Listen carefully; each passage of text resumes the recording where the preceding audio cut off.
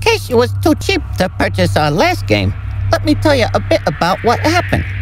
It was all about this Abe guy that worked in this dumb meat factory called Rupture Farms. The place was run by Glukkons, and they was on the verge of going out of business. They had already chopped up all the wild creatures, so now they had no choice but to chop up Abe and his buddies too.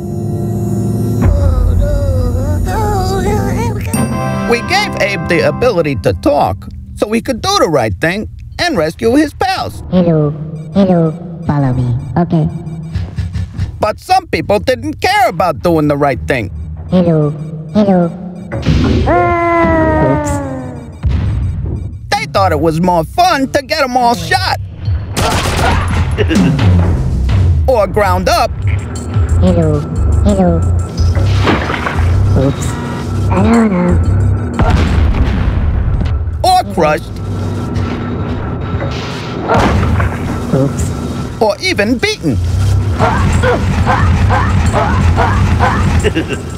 Needless to say, this pissed some folks off, and they didn't lift a finger to help Abe in the end.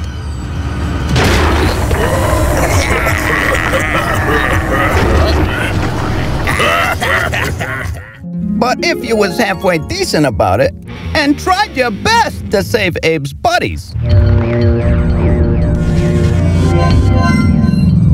the end would have been much better for Abe.